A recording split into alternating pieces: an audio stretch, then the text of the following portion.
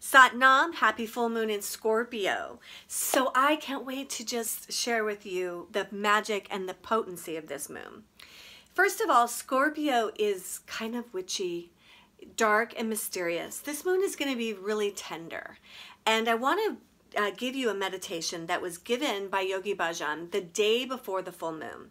Because the day before the full moon is when your subconscious is the most open. It's actually when the moon always takes that void of course, which is between signs sort of thing, and almost like the subconscious doesn't know what to do. And especially when it's that void of course is heading into that big lunation called the full moon, it is potent, magical, and has extra ability to restore you, to help you cleanse and banish. So before we get to the meditation, I want to talk to you about some things you can do.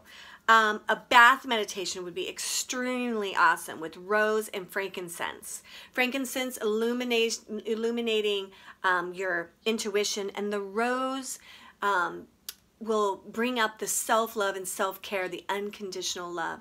You want to have such compassion for yourself. Your soul wants you to know there are no bad choices. There are just twists and turns in this life.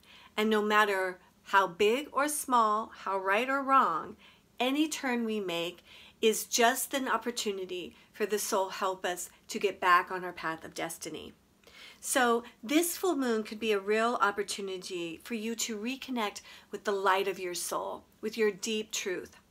If you are feeling overworked, overtired, not in the zone of your happy place, the place to look is not on a big change, but in the everyday life. What are you doing on a consistent basis? Watch your mind these next couple days because the, the bad habits will be amplified. Are you judging too much? Are you are you overcritical to yourself and others? This is a great time to write an amends to somebody. Doesn't mean you have to send it, but to be honest about maybe where you went wrong, where you were dishonest, where, you know, one of the things I think spiritual people do is sometimes we have the self-control not to say or do the thing, but we're thinking some up thoughts. We're judging. We are insecure. We're having that. And let's be clear here. Your mind sends out vibes. And so that in itself, people feel and and they react to it.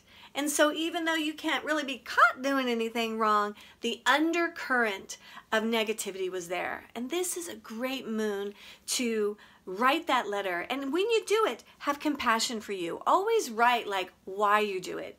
It was affecting my insecurity. It was affecting my um, finances. It was affecting my reputation. Now, that can all be that your ego thinks that, but to write it, release it, have compassion for it. You know, I just did one of those with a woman in my life. This is so bizarre. Like, I never talked to her. And it's been haunting me. So, Scorpion Moon brings up those hauntings, especially when you're on this path. It's like your soul is saying, Look, I love you. And you need to stop. You need to not carry that. So, anyways, I wrote that letter Two days later, I get a text from her, which was an opportunity to say, you know, you look beautiful, have a great life. It's not the kind of energy I would be able to engage in all the time, but I certainly don't want there to be um, a disharmony or hatred between us because that isn't good for me, for her, for our world. So it's a time to get clear on how we can love better in the Scorpio moon. So back to you can do a bath. The other thing is write that letter or a letter to your soul of what you'd like to cleanse and let go of, right? And in that, write three things that would make your life better if you gift yourself this release, right? And one of the nice things with Scorpio is water. So take some purified water in a beautiful bowl. And a nice thing to do is to add an amethyst. You know, nice amethyst and put that in the water with it because amethyst is super good for bad habits and addiction and protection. So it can help you banish that thing that is um, no longer needed by you. So it's good to take time to honor the energy of the moon, and we will be honor, honoring the energy of the moon. Teacher training again this weekend. If you haven't done teacher training, we are doing it again in September for two weeks down south. So if you're one of my San Diego students, you could do two weeks with Mahanraj Singh and I, and it will be again next equinox, March 2020.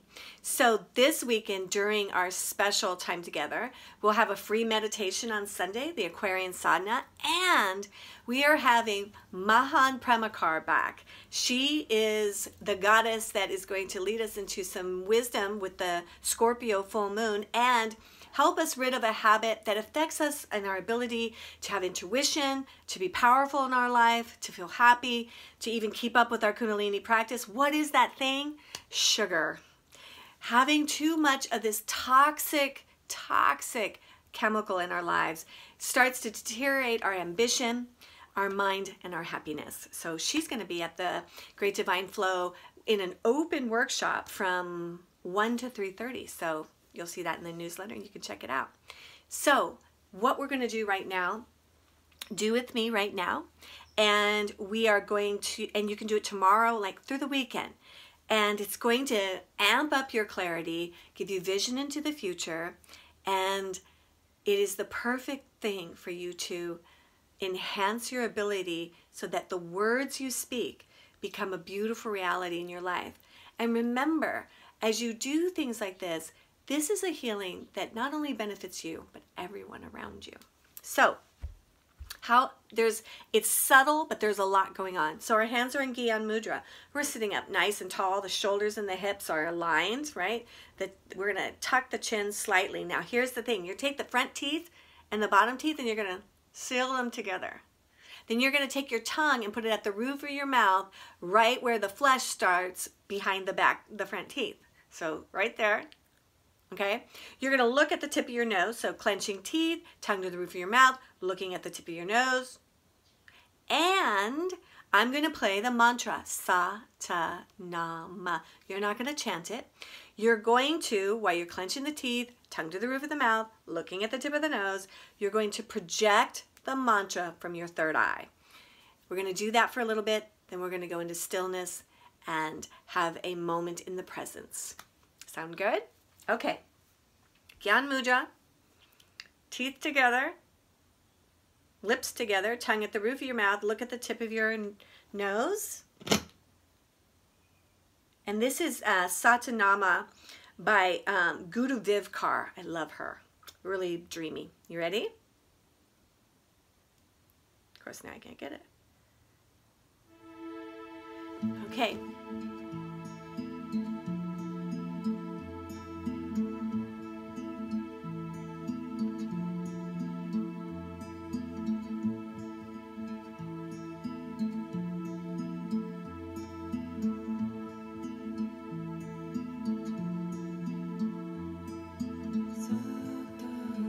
Looking at the tip of your nose, mentally chanting and project the mantra out the third eye.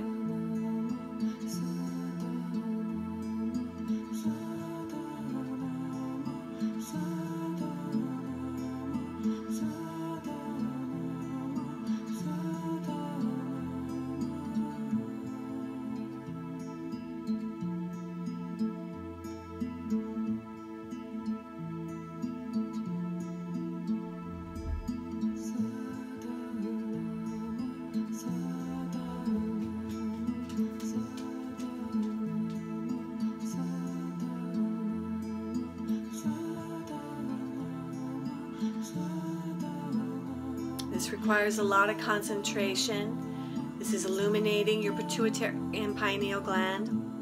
Stay with it.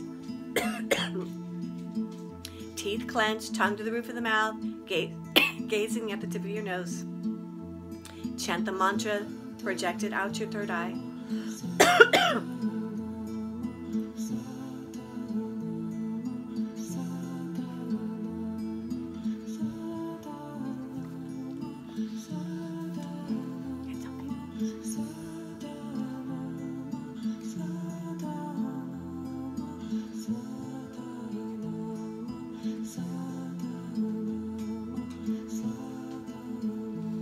Inhale deeply.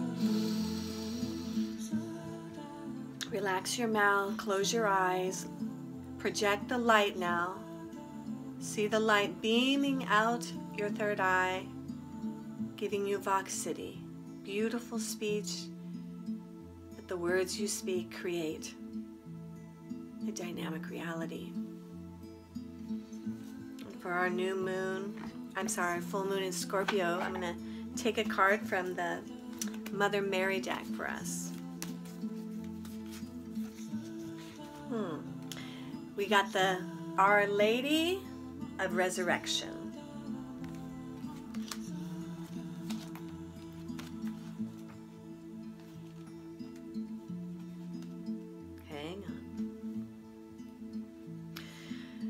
The eternal light dwells in my heart and is the place where you enter my heart.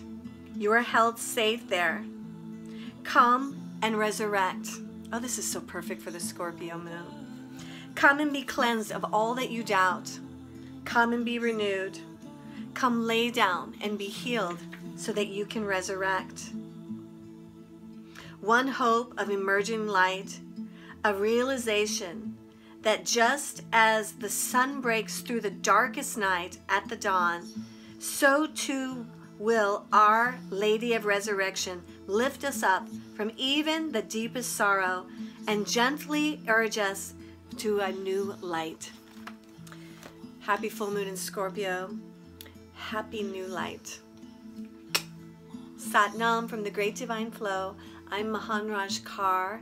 I also do cosmic readings that tell the astrology that illuminates your destiny and your tantric numerology, as well as the Tower of Light Healing, which is a hands on, amazing experience.